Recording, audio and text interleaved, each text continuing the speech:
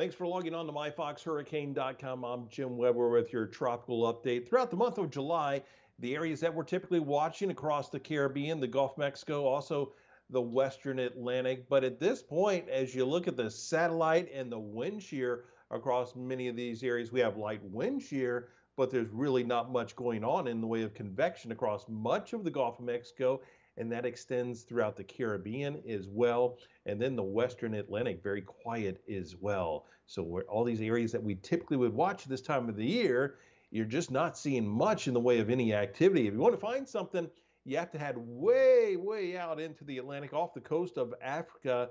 Waters out here are typically a little too cool still this time of the year, and there's also some stronger wind shear out in this direction. So at this point, we're just not seeing any sign of anything developing. In fact, you look at the European model stays very quiet as we go through today, all the way through the weekend into next week. We're just not seeing any signs of any significant development. Of course, we'll keep you updated right here on myfoxhurricane.com.